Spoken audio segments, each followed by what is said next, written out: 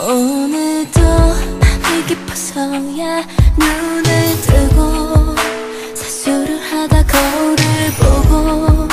부어있는 두 눈 입가에 쓴 웃음을 쳐보지도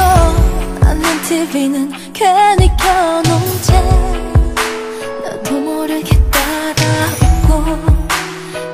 だと